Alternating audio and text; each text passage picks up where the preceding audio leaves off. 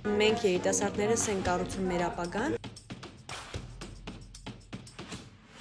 Մեր խմբում բոլորս ունենք տարբեր տեսակետներ ու բախումներ են նաև լինում տեսակետների այսպիսի քննարկումներով մենք ավելի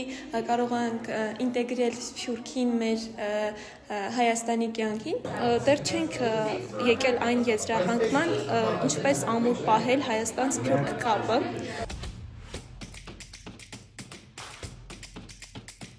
Գեներացնելով միտքը կարողանում ենք ինչ-որ արդյունքի հասնել։